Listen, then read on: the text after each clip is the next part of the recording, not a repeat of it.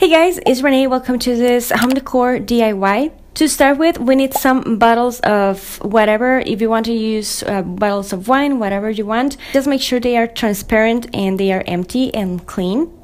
I'm using bottles of wine because those are the kinds of bottles that I had around the house. I'm using six. We're going to be needing some ball and water and I'm using gel food coloring for this because I didn't have liquid food coloring that the one they sell at supermarkets. That one I feel is going to be better because you're working with liquid anyways to begin with.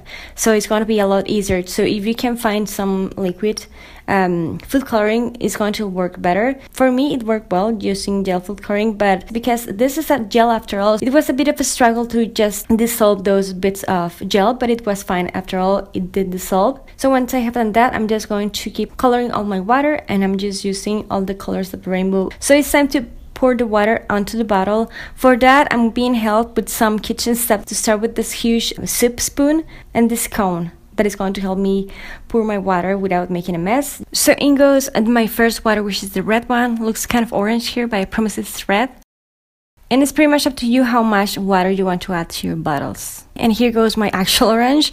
And you're gonna see the yellow right in there, which I haven't technically done, but I did. It's because I started actually with the yellow one. But I kind of forgot that um, rainbows start with the um, red, not with the yellows. But it's okay because at the end we're going to arrange the whole thing in order. And here goes my green one. Now, as you can see, my orange and my yellow one don't look even. It's because I'm leaving every other bottle like fuller and the rest of them not as full. And so for this case, for the green one, it's going to be as the orange. But yeah, pretty much up to you how much water you want to add on each bottle. And here goes for my blue one, which is my kind of fave. I don't really know why I love glasses that are filled with blue waters and then you place the bottle in front of the light or just a window and the reflection is beautiful. Plus, I love the color blue. Thumbs up if you like the color blue as well. And then here goes the purple one. And this was actually the debut that I had through the whole process, which is kind of funny.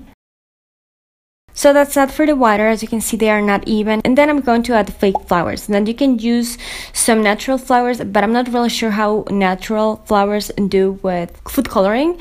But if you have experience with that and it's okay and you prefer to use natural flowers, you can go ahead and do that. For me, this is fine. But yeah, I'm just going to show you a few ways on how you can place your flowers. This is one. Having all the flowers on all the bottles, this is one way to go.